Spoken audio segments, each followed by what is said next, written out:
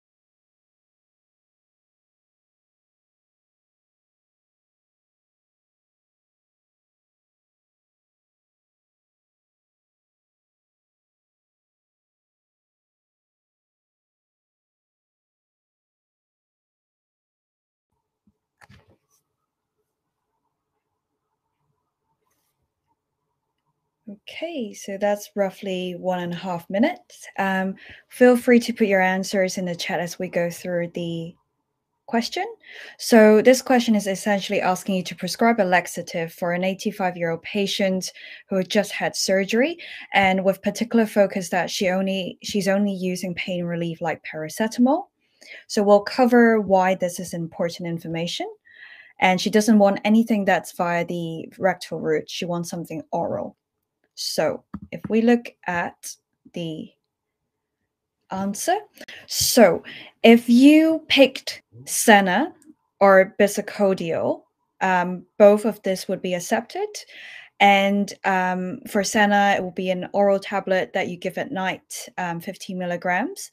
For bisacodyl, it will be five milligrams as well, and tablet at night. And I'll go through um, different types of laxatives and why they're not as suitable as these ones here. So both of these are stimulant um, laxatives. So essentially, they activate the bowel so it moves and pushes the poo out via the rectum. Um, but you want to be aware of using that in someone with bowel obstruction because that might cause perforation. And I see um, a colleague um, mentioning Macrogol 3,352 sachets. So normally this is what you see on the ward because this is one of the um, osmotic um, laxative. It also tastes very nice. I've tasted before, but however, it's not as um, recommended here because the patient in the stem it says that she's feeling very bloated. So you don't. It the one of the side effects of Macrogol is actually causes the patient feeling more bloated. Um, and so the reason, so that's why I put this water sign next to osmotic just to help us to remember. And going down the line, if you've put docusate, um, unfortunately, it's not as suitable as Senna or Bisacodyl because the, the stem also said that the patient's stool is actually very soft. So giving them a softener for the stool is not as effective. Whereas if the patient has very hard stool, then this would definitely be recommended. And last but not least, we have a bulking agent called Ispaghula husk. And normally this is um, this is first line according to our hospital um, experience, but it's not as suitable because it's usually for patients who don't eat enough fiber in their diet and it takes up to 72 hours to work. For this patient who had three days of no bowel opening, this is not suitable. Hence, the most suitable options in this case is Senna and Bisacodyl. Um, for revision, go to um, constipation as one of the treatment summary to help you revise the different types of laxatives. And um, you should should this should cover your bases. So next question. Oh, sorry. Before the next question, um, I, I mentioned that the patient was using paracetamol, but if the stem said the patient is actually using morphine, the general approach would be to give them an osmotic laxative, as one of your colleagues mentioned, a macrogol and a stimulant, so either Senna and bisacodyl. So you normally see Senna and macrogol prescribed on the ward. And there are also treatment summaries in the BNF for um, constipation and palliative care, pregnancy and breastfeeding, and children. So it's also good revision um, material before your PSA. So next question. Um, you will have one minute for this one.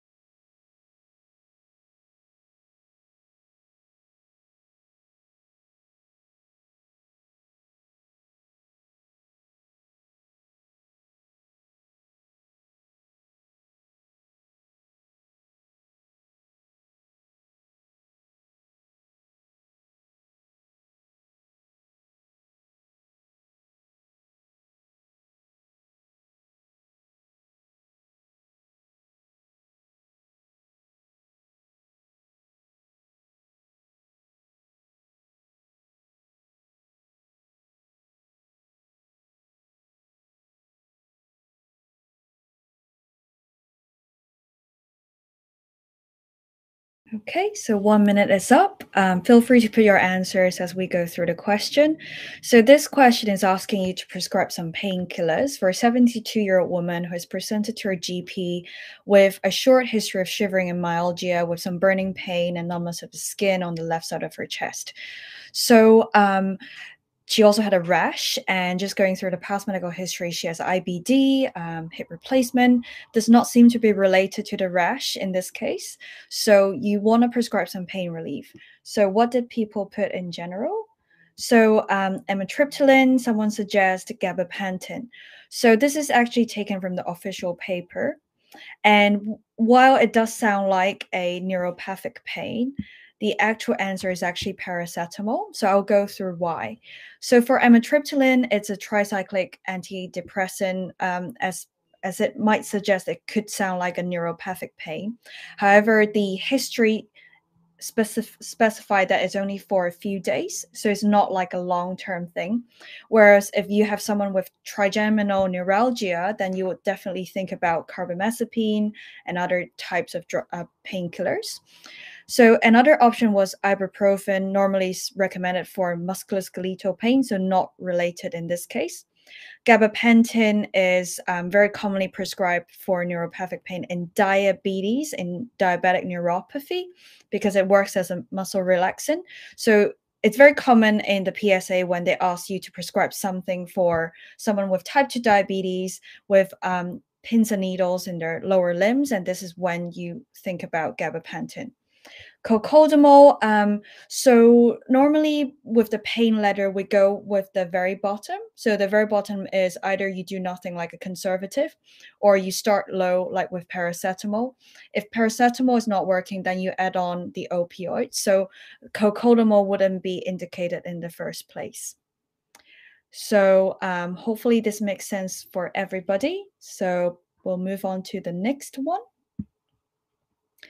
Before we move on to the next question, I made this slide because I think pain eh, often comes up in the PSA. And as mentioned, for musculoskeletal pain, um, for back pain, we recommend ibuprofen. So depending on the stem, um, you want to decide whether you want to give topical gel or a tablet. If you give a tablet, make sure you read the stem very carefully to see whether the patient's renal function is it's it's normal, it's okay. Um, but normally for elderly patients, we recommend topical ibuprofen because it's safer. Um, and then remember, if you're giving oral ibuprofen, you always want to give proton pump inhibitor to protect the gastric lining. Um, and for post-operative pain is another thing that you often see in the PSA. Again, you go up the ladder, and whilst you're watching the recording, you can go through this step by step to see how um, the ladder is built up. Um, and last but not least, fracture. It often comes up. So you might see in the stem that they've already exhausted most oral opioids, and the elderly patient is still experiencing pain then you will think about transdermal patches like buprenorphine or fentanyl. And then, of course, patient control analgesia would be started by the inpatient pain team or an anesthetics team. So this is just for you to be aware of. Um, we'll go through qu questions if you're unclear at the end of the session. So I'll move on now. Before we move on to the next question, we'll give you a little bit more time for IV fluids. So generally the approach is prescribe two bags of sweet, so like glucose or dextrose, and one bag of salt, so saline. And there's three situations where you need to prescribe fluids. Uh, it's not just in elderly care, this would be covered in pediatrics as well. So either the patient is um, has very low blood pressure, like under 90 over 60 and need resuscitation fluids, um, you need to give a bolus, or they need replacement because they had nausea and vomiting, usually sometimes secondary to diabetic ketoacidosis in type 1 diabetics. Or you want to give them maintenance fluids. This is the most common situation where a patient needs to be nil by mouth before surgery, or this is an elderly patient who's not really swallowing um, food substance and they're still waiting for speech and language therapy assessment, then you want to give them maintenance fluids. So I, I did this from NICE guidelines. You want to give water 25 to 30 milliliters per kilogram per day. Electrolytes will be one millimoles per kilogram per day, and everybody would need around 50 to 100 grams of glucose, and that would work out 5% of dextrose is 0.05. 0.05 times 1000 would give you 50 grams. So that would be 50 grams of your daily requirement of glucose in that one liter bag of sweet. So sweet fluid. Okay, I'll give you um, two minutes for this question um, to prescribe some fluids for a 74 year old gentleman.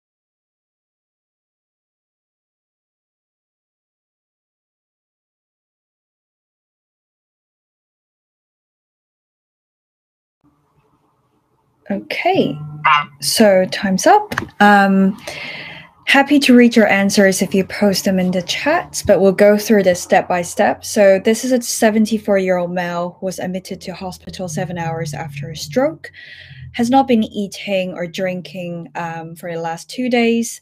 Um, so already it's hinting that the patient is actually quite dehydrated.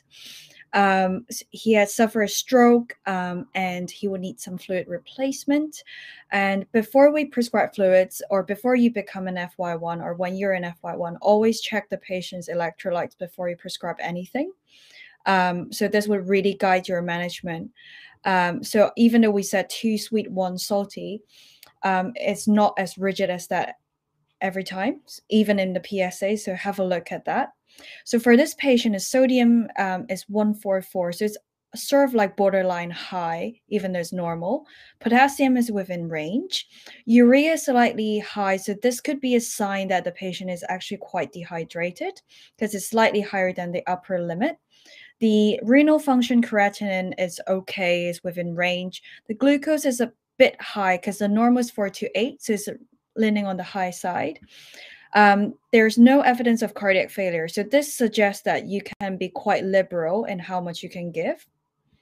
Um, so if we look at the answer, so um, for the question, it's marked in two two parts. So the first five marks would be awarded to the optimal drug group choice. The other five marks would be awarded to how fast you're going, what route, and how much. Um, so in this case, if you've picked sodium chloride 0.9% with potassium chloride 0.3% or with potassium chloride of 0.15%, then you will get the full five marks. For the speed, if you're giving 500, then any time between four to six hours would give you five marks. If you're giving more, then you want to give 1000 milliliters over eight to 12 hours. because you're also replacing so um, potassium, you don't want to go too fast, and this is why the duration is so important. This in this case, um, and this question because the patient has slightly raised glucose. So if you pick something like sodium, um, if you picked dextrose and potassium chloride, you might be marked down because you're giving the patient more free water rather than salty water. Um, so hopefully this makes sense. I will move on. So this is I actually did this question myself um, a few days ago because I want to show you what it's like. So in the prescription, if I go back to the previous slide, you will find this whilst you're doing your 10 mark prescription question. And in the search function, you could write sodium and then you could see a load of fluid options pop out and you can see 0.15 or 0.3% potassium chloride with saline. And then once you've picked the drug, you want to pick how much are you giving. If you type in 500, then it will pop out 500 milliliters, etc., 1000, and then you could pick the time. And they will automatically calculate the infusion rate. And this is how you do the prescribing um, 10 mark question. So I also tried um, giving the patient Hartmann's, and actually I only got six marks. And this is because um, you it does not contain enough potassium for um, this patient um, because the patient is also losing potassium. Um, so I think the drop down works if you sort of have an idea of what fluids you want to go for already. So if you I, I don't think if you just press the infusion fluid, I don't think anything would comes up unless you type in a letter or a word. Um, but I think my my lovely pharmacist uh, pharmacist doctor colleagues can correct me on that. Um, but that is usually the case. So this is why I want to show you that. Um, but in this case, if you prescribe Hartmann's, you wouldn't get the full 10 marks basically. And um, once you watch the recording, you can pause and read the explanation why from the official paper. So this is a bit of a different question. Again, I'll give you two minutes. It's slightly different to the previous one.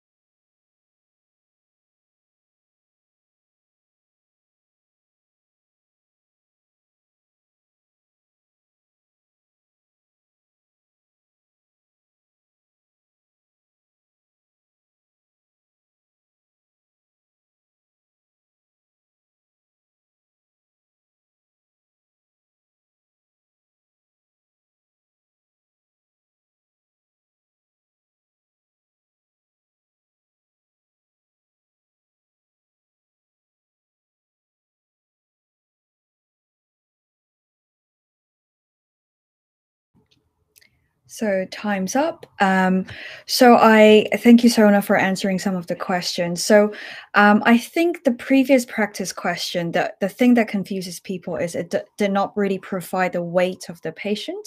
So people are a bit unsure how much potassium to give. But as Sona said, actually, um, I think if if the potassium is in range, then you can be you don't have to like not give the patient any potassium unless the patient has very high potassium. Um, so Sona is actually saying um, on your ward you often have pre-designated bags of saline with so uh, with potassium, and so this is their rationale behind the not eating and drinking for a few days kind of maintenance re- regimen. But for this question um, for fluids, it actually provided the weight in this case. So I think this time it might be a little bit clearer how much you need to give from the information that is provided. Um, so yes, uh, Rajika, yes, you you off you almost always prescribe based on the weight of the patient.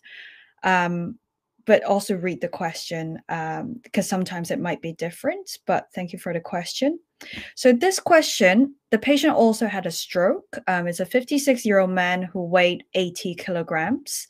And looking at the electrolytes, the sodium is 139, potassium is in range again, urea is in range. Um, the random finger prick glucose is 6.2. The only difference is this time this patient already had some fluids. So this patient already had two 2000 liters of sodium chloride with 40 millimoles of potassium chloride over the last two days uh, sorry over the last 24 hours. So what are you going to give then? Um, before we think about the answer think what is this patient lacking? So if we go to the answer this time the patient has already received um, 2000 milliliters saline, 40 millimoles of potassium chloride. If you prescribe sodium chloride again, then you're giving the patient too much salt because the daily requirement is actually 80 millimoles of sodium. But every bag of saline actually contains around 135 millimoles of sodium. So you're actually giving them around 200, uh, 260 something sodium over the last 24 hours. So, what is the patient lacking? The patient is lacking in glucose. And in terms of the daily requirement of potassium chloride, because the patient weighed 80 kilograms, every day you need one millimole per kilogram. So the patient would need 80 millimoles, 80 millimoles of potassium chloride. In total, he already had 40. So he will need another 40 um, millimoles of potassium chloride. Therefore, the answer for, for uh, this question would be giving the patient one liter of glucose, um, 5%, which gives the total daily requirement of glucose, with 0.3% of potassium chloride over any time between 8 to 12 hours. As Sona has um, mentioned, you don't want to give potassium more than 10 millimoles per hour. So, hence, um, the duration is also an important marking point. Um, appreciate that this is often very confusing, so we can, I will answer questions at the end of the session.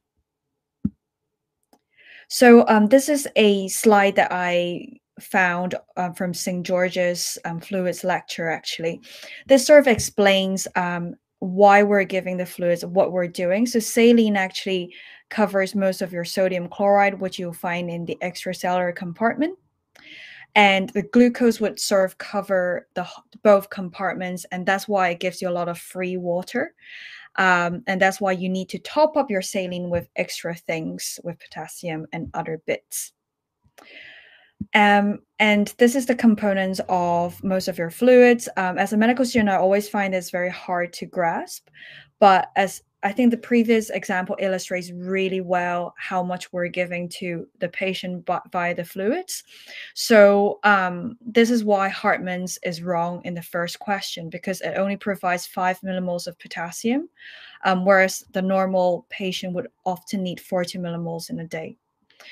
So um, I will move on from now. In elderly care medicine, you often see questions um, after prescribing a prescription review, and they often ask which two prescription most likely cause a high potassium. And often there's actually a lot of tricks to get around this question because it's very time consuming if you use the regular method of looking up every drug, looking up at the side effect. So, what we recommend is using the interaction checker on the Medicines Complete website. Um, and we can also use the Appendix 1 interaction in paper BNF. So I've got this um, here. Um, I think for because I did my exam in UCL and we're allowed to take the paper BNF. As long as you don't mark up anything, you're allowed to bring it in, I think. But check with your administrator. And in the appendix one, you would actually see list of drugs that said um, which cause high serum potassium, high serum sodium, etc. And this would save you like at least one minute. Um, and then it would also contain pages on um, common drugs that cause um, toxic effects to the kidneys and the liver. But however, for qu- questions like, oh, which of the two prescription actually most likely cause ankle swelling or dyspepsia, these questions are a little bit difficult with interaction checker because I tried it myself. So it's often good to remember some examples. So for example, ankle swelling, you don't want to give amlodipine, which is a calcium channel blocker, which often causes ankle swelling, um, with something else. Um, I'm thinking like there are loads of things that would cause ankle swelling. And then for indigestion, you don't want to give steroids and ibuprofen together, which would commonly cause GI upset. So these are examples that you want to remember. For um, interactions are more likely to be life threatening, you're more likely to find it on the interaction checker. So, like bradycardia, hyperkalemia, th- this sort of thing would be quite life threatening. And this is often when you could find the answer very easily with the interaction checker. Um, so, yeah, I took some sc- pictures with my iPhone of the pages, and this is why I really recommend befriend your pharmacist and ask for one. It doesn't have to be the most up to date BNF. So, for example, the one that I used was actually, I think it was from 2021, but I use it this year in 2022, so it's fine. Okay, right. So um, I think I always forget how to find the interaction checker, but this is your Medicines Complete website. Go to the website. Um, if you can't find interaction, just search for interaction. After you found interaction, click interactions. That's the button in purple um, it's it's blue, but once you hover over the word with your mouse, it's, it turns purple, and then it brings you to searching directions. And you could literally type all the drugs from the question stem, and look for the meaningful interaction, and then it will save you like one minute, and um, you'll be happy. Okay, so next slide. So um, again, there are common questions where they ask you which of the following um, contains a serious dosing error. Sometimes they give you an impossible drug. It has happened before. So this is when you need to look that up. But sometimes they're very nice and they would give you um, common drugs. So I would recommend before you go in, have a brief idea of how how maximum and minimum a, a, common drug can go. So, like bisoprolol, if they say 200 milli- milligrams, then it's obviously something's going on. Or even micrograms, they like to do things like that. They might give you 1.25 micrograms. Um, it looked very normal, but it's actually milligrams as the normal dose. Um, and statin, again, if it's 500 milligrams, then it's very, um, very wrong metformin if they usually starting dose is 500 if they say 2.5 milligrams you know that something is up. So um, go through when you do past medicine or past test when you revise for finals for different core conditions you have the common drugs. So have an idea of how much you're going to give for these drugs and you'll be fine. Um, just a, an overall slide for you to pause when you watch back at the webinar. Um, so for elderly care medicine, we're very concerned about acute confusion, and you often see questions like these in prescription review, like which of the two, which of the following most likely cause acute confusion? If the patient is on opioids, um, antidepressants together, then you know that something is up. Those would usually be the right answer. And electrolyte imbalance can also be a cause for confusion. So look into the stem. If they give you the blood test result, just look very careful at what they're saying. I would say before you approach every question, spend at least 30 to 40 seconds. So five seconds to breathe, five seconds to tell yourself everything will be okay, and 30 seconds to actually read the question, what they're actually hinting at. Dehydration is often a cause for um, confusion. So if the patient is on whole load of diuretics, um, you want to see whether you want to stop some of them. Renal impairment is a common topic in all elderly care medicine. Um, so see if you need to withhold some drugs um, if the patient's renal function or is having a acute kidney injury. Um, so commonly you would want to stop metformin. Um, another thing that I didn't cover here would be post uh, pre-operative, like whether you, um, if you go on BNF, there is often a lot of rules on what drugs to withhold before a surgery, and metformin is often one of them. Liver impairment, again, um, your NSAIDs, your corticosteroids, your rif- rifampicin are something that you might want to stop when the patient is having very high and abnormal liver function test. Um, before I close this topic, because um, on the blueprint you are you, you're expected to know what the CYP inhibitors and inducers do and how they interact with other drugs. Many years ago, when I was revising for my pre-clin, I, I found this really good infographic um, to remember this. So I always remember that um, for in, inhibitors, cement is like cement. So cimetidine is cement, so it stops everything. So that's a, a a memory aid for inhibitor. Um, they aren't going anywhere, as this um, person said. Um, so this sort of helps me to remember the drugs. Common example would be giving a statin and a macrolide together um, because the macrolide is actually stopping the enzyme um, from breaking down drugs. You're increasing the amount of statin in the blood.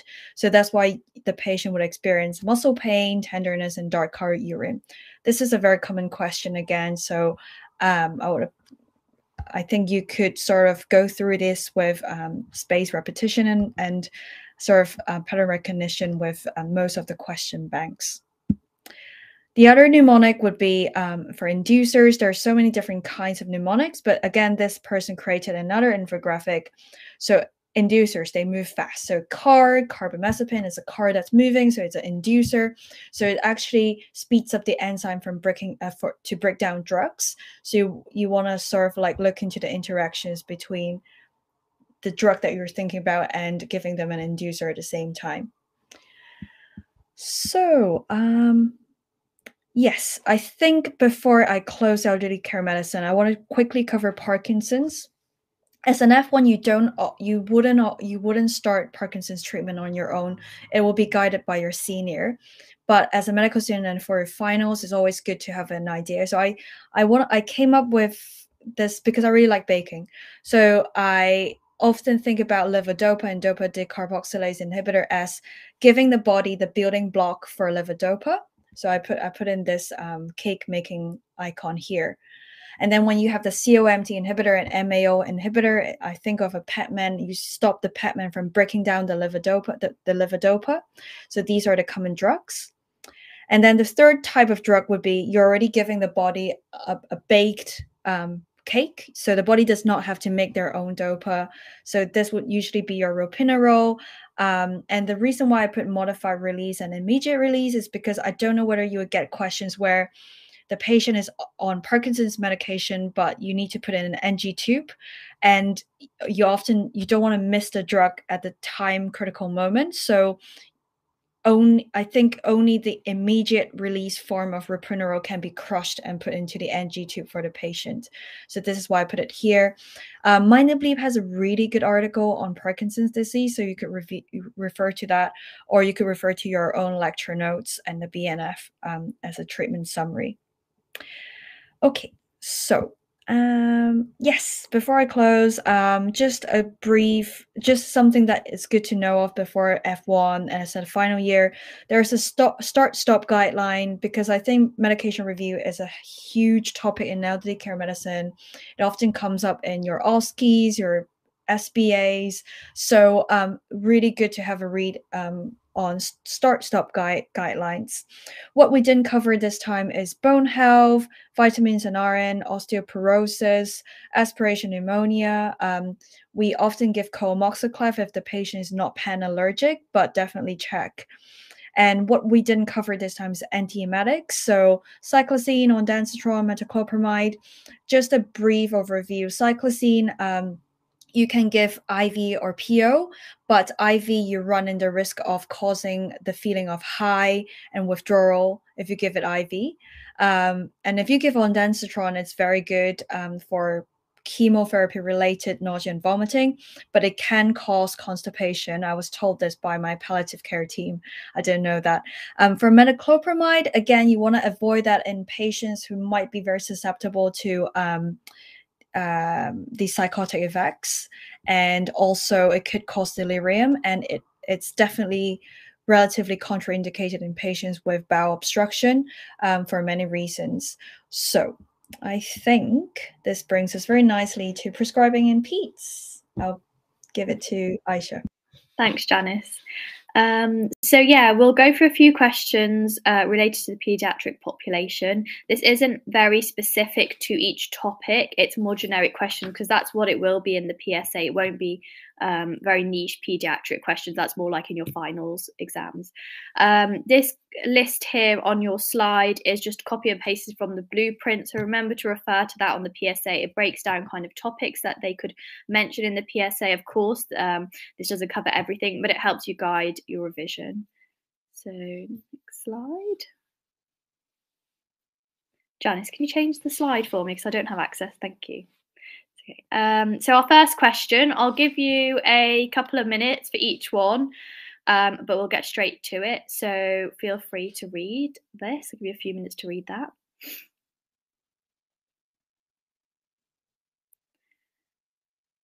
And as you read it, make note of the key things in here because I'm going to change the slide.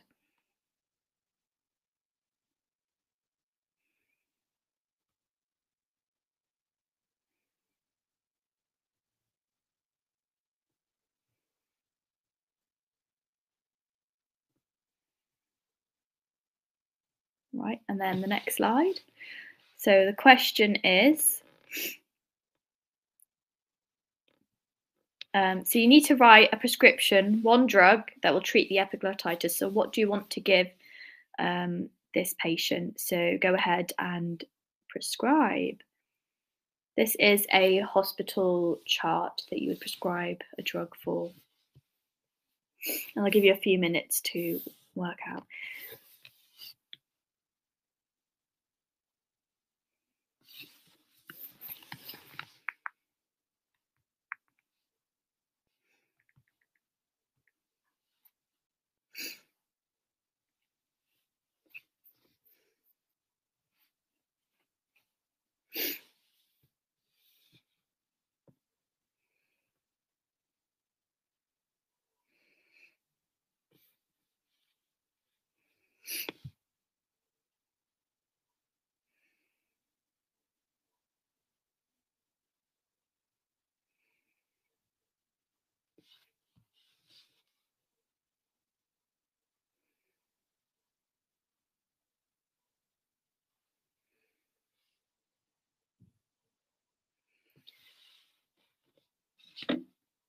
So Janice, if you could go on to just the next slide, but not the answer. So um, if you, so when you are prescribing your drug, remember you've got to write the drug name, dose, frequency, the route, your initials, the indication, start date and a review date because it's an antibiotic um, that's when you are putting the indication in the review date. You don't read, you don't do that for other drugs. And then you're going to want to so on the right side you'll have the times and then you're going to want to put the dose there on how frequent you want it. So we'll got we've got a few question um, answers in the chat which is great to see and we'll move on to the answer then so if you type in epiglottitis into the BNF, um, it will um, prompt and show you what type of drugs you can give. Um, and ceftriaxone is the answer for this question. And it is one gram because you base it on the weight. So as someone has mentioned in the chat, 50 milligrams kg every 8 to 12 hours. So I've done it as TDS, so every 8 hours.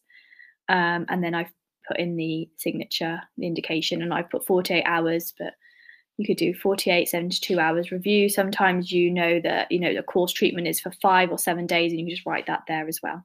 So that's the answer for that one. So that's just your weighing of um, using the bnf get used to um, forming a diagnosis and working out what drug treatment you want to give. So we'll move straight on to the next question which is a calculation so I'll give you again a few more minutes to read that and then prescribe it. So I'll give you about two minutes to prescribe that, um, work out the answer to that.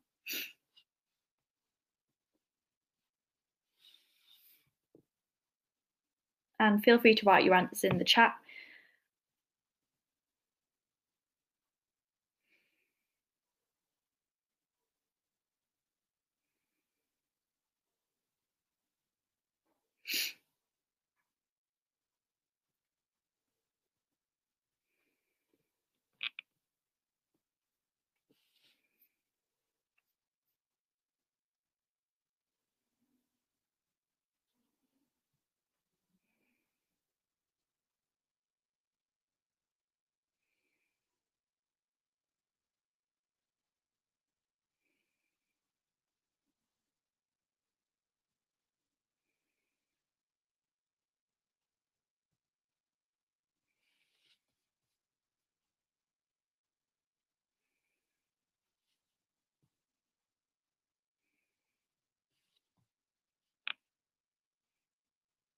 Right, um, if anybody wants to put the answer in the chat, they've worked it out.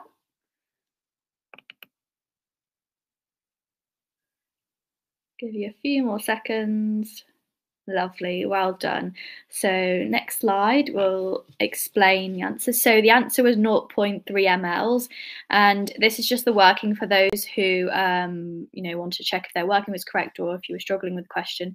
So you have to remember the um, information in the question actually gave you a lot of what you need to do. So you need to times the 300 micrograms by five, which gave you 1,500 micrograms. Remember to divide that by a thousand to make it into milligrams, because you know that the solution comes as five milligrams per mil, and therefore you do a bit of maths. So you do 0. Uh, 1.5 milligrams divided by 5 mil, which gives you um, 0.3 mil. So that is your answer. Lovely. So we'll go to the next question. So next calculation question, I'll give you um, two or three more minutes to go and feel free to type your answers also into the chat.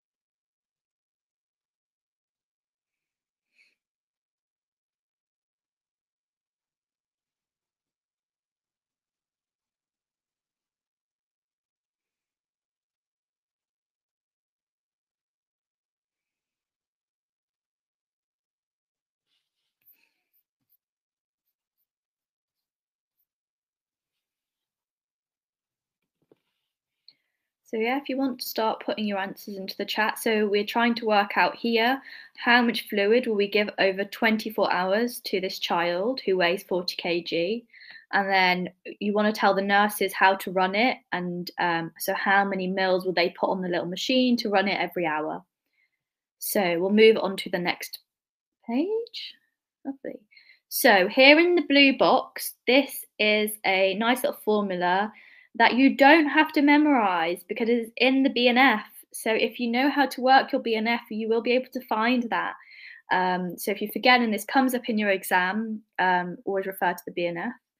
And so he, this child, he or she weighs 40 kg, so that's four. The first 10 kg will be 100 mils per 10 kg, so that's 1000 mils. The second 10 kg within the 40 is 50 mils per kg, so that's 50 times by 10, so that's 500 mils. So we've got 1500. Then he's still got 20, he or she's got 20 kg left of its weight, and that's 20 mils per kg for anything over. So that altogether is 400 mils. So that's 1,000 plus 500 plus 400, which is 1,900 mils over 24 hours. So well done to the guys that got that correct. And then we asked what was the rate over an hour. So you would do, of course, 1,900 mils divided by 24 and 79 mils. And yes, you can round it up to 80 mils. Well done. Um, lovely. So, and then we'll move on to our final question of our paediatric section.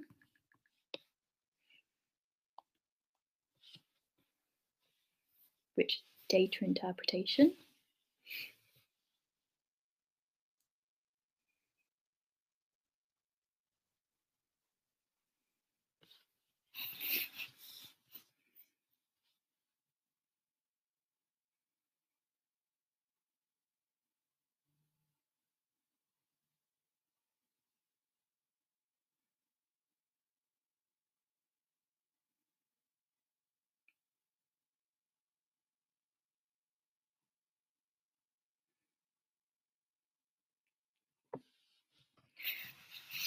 And the options are there on the right with the blue dots next to it so you can select that one.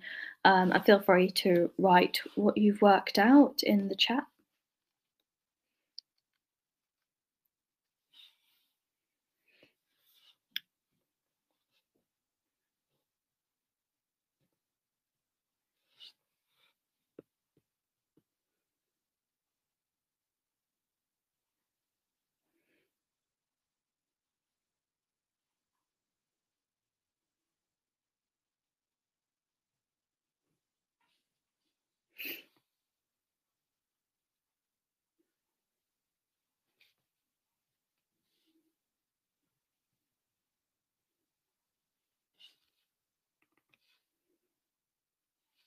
So I can see in the chat someone said C. Princess, if you want to also just mention how you worked out C as well in the chat, where you went in the BNF, what did the BNF say? And I'll give everyone else about 30 more seconds to give their answers.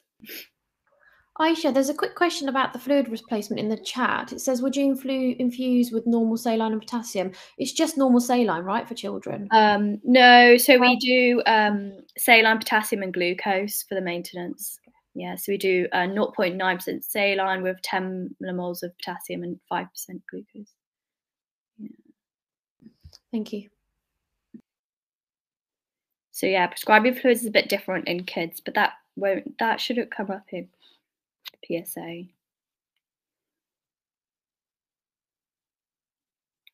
Right, okay, so let's just quickly go over the question and then we'll move on to the answers. So, this is a one month old requiring an antibiotic. So, it's gentamicin. Gentamicin is one of those that have a narrow, narrow therapeutic range, um, and you take the levels, and the levels then will guide you on what you will prescribe after the first dose that you prescribe.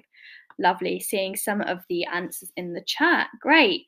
So you the doctor, the nurses have taken this this level and they've taken a trough serum gentamicin. And if you want, if anybody wants to interact in the chat and let me know what trough means, but you have to remember the difference between peak and trough and this trough level is three milligrams per liter. And I luckily in the question has um, kindly given you and told you the target is less than two.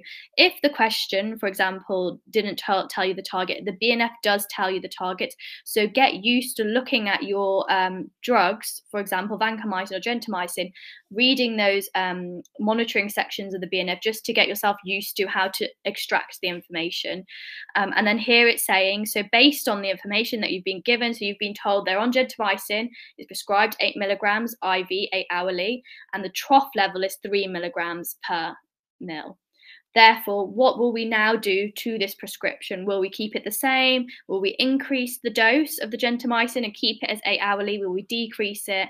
Or will we increase the interval? So from three times a day, so eight hourly, will we change to twice a day? So just leave a bigger gap.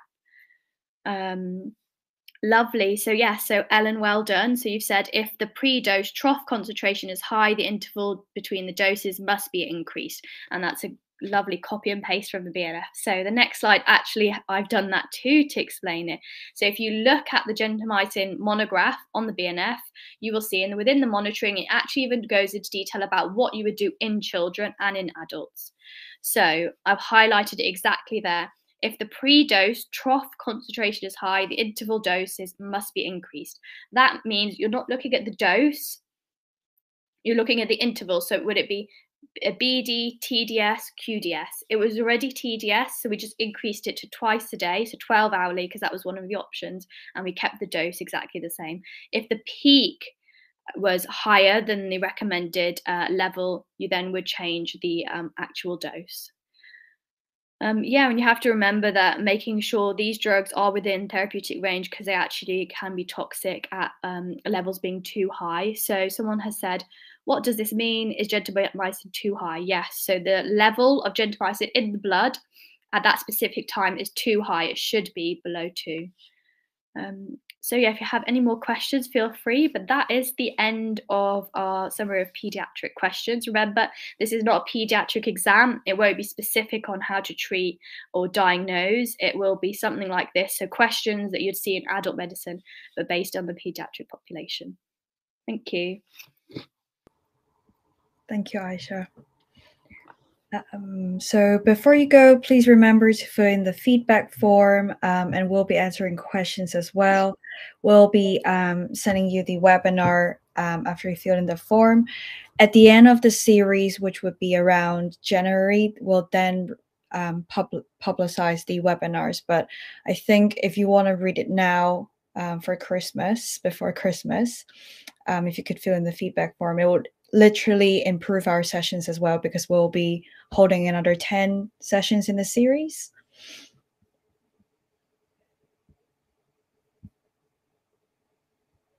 Yeah.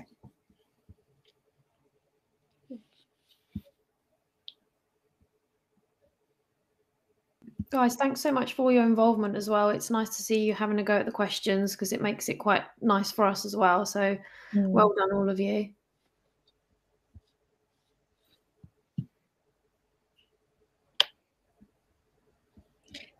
So um, the next session would be the 17th of November, um, and it will be on adverse drug reaction.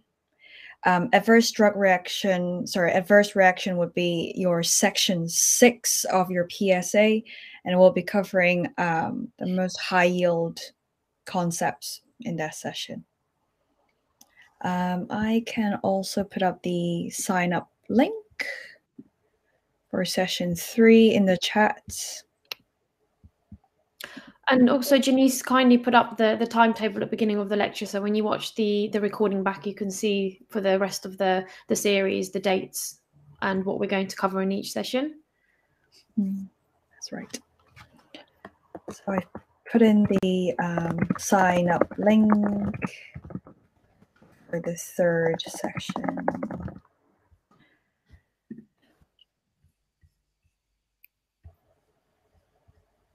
Okay, we'll just stay behind for another two minutes just to check if anyone has any questions.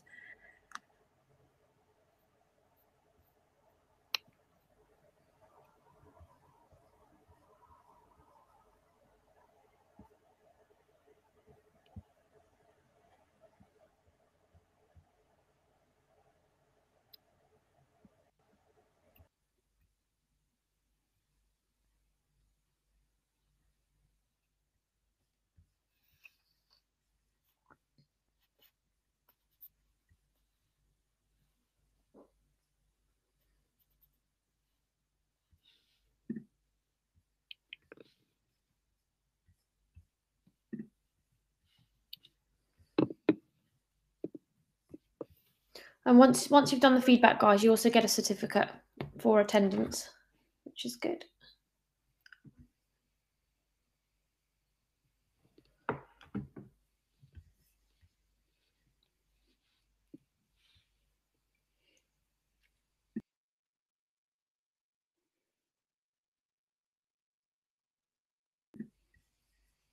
So there's still 29 of you left. Any more questions, guys? We're still happy to stay on and answer if you miss.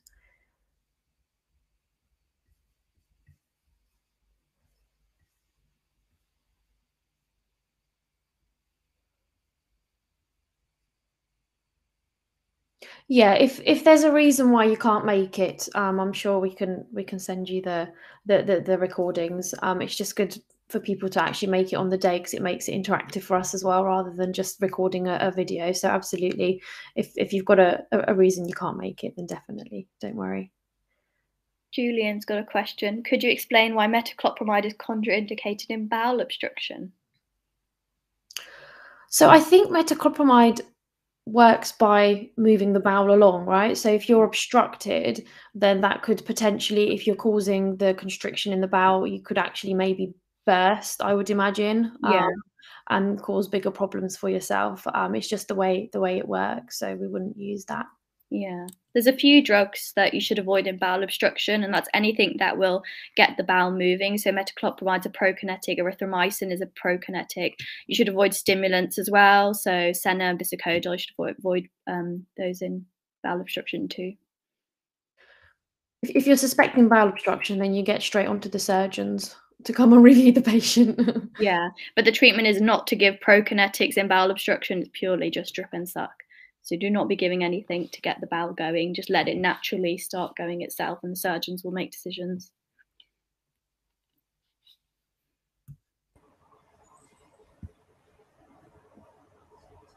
So, any more for any more? Any questions? Okay, thank you for attending. Um, so,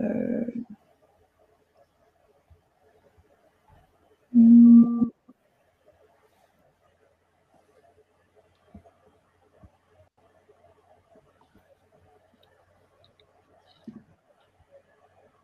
I love it's sometimes I used to do this as well, like hang on in case there's more questions so I don't miss, miss the answers.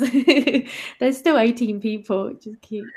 Yeah. Is there anything you want to ask about the PSA in general or anything you're worried about?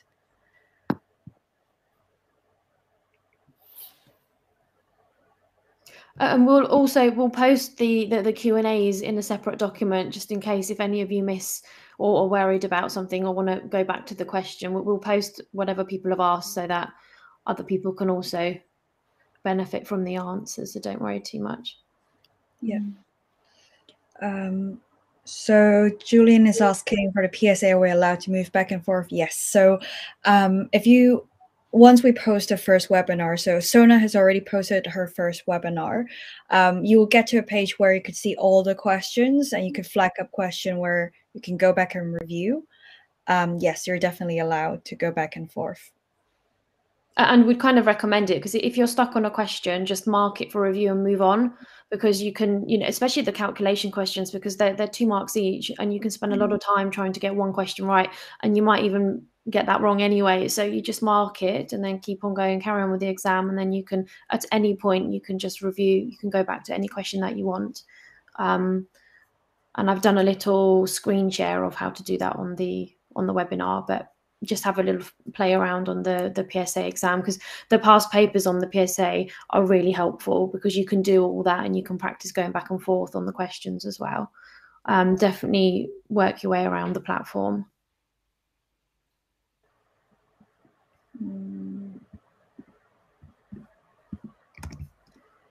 I think that's probably it. Yep. Okay, guys, if there's no more questions, I think we will call it a night. Um, we will have, yeah, yeah, definitely have a look at the practice papers. Um, and then if you've got questions from the practice papers, we, are going to do a, a Q&A right at the end of the series. We're just going to turn up. And if anyone wants to turn up and ask questions, because it'll be a lot closer to your exam, then we can try and go through some of the questions that maybe you don't understand on the exam or anything else that you've got. So just jot things down, but but have a play around the the platform and do the past papers first. Mm. So if you guys really have a lot of burning questions, um, you can send email to prescribing at mindthebleep.com and the whole team would have a look at your questions. Um, I should have shared this earlier, but. Hmm. And if there's lots of the same ones, then we'll, mm-hmm. you know, address them all at once. Yeah. And we'll also um, post on Mind Bleep website at the end of the series, like all the webinars embedded with notes and really good Q and A's. We'll put it there for your reference. Okay, I think we'll call it a. So let me stop presenting.